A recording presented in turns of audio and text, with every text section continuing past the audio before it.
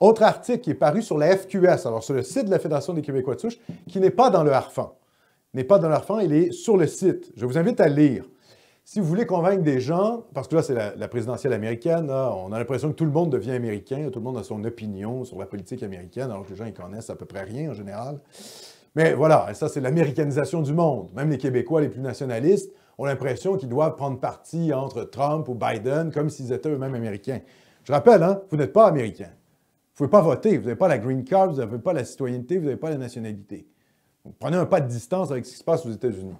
Il n'empêche qu'évidemment, le Québec est collé sur les États-Unis, et donc, euh, forcément, euh, ce qui se passe aux États-Unis a un impact sur nous. On est à côté de l'Empire. Et ce texte est très bon. Arrow sur Trump ou la répression du populisme. Je vous invite à le lire. Euh, peut-être à le partager à des gens qui ne comprennent pas l'effet Trump. Hein, comment ça se fait que Trump génère autant de, je dirais, de sympathie de la part de nationalistes québécois et de la part de patriotes partout à travers le monde.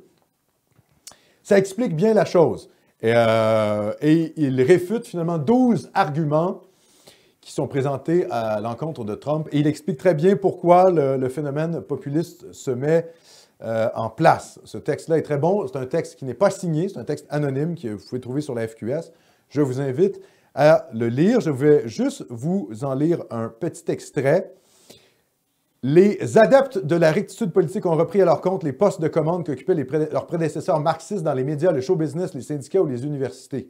Cependant, la secte politiquement correcte ne s'appuie plus sur les classes laborieuses, trop peu enclines à servir de chair à canon de la Révolution, mais sur la défense des minorités ethniques et sexuelles et de causes telles que l'environnement, l'avortement ou l'immigration. Ayant abandonné la prétention des marxistes de gérer l'économie et accepté la mondialisation, le courant politiquement correct s'est trouvé des alliés chez les multinationales et la haute finance, elle-même largement infiltrée par des adeptes du politiquement correct, et il a acquis un fort ascendant sur les partis politiques établis.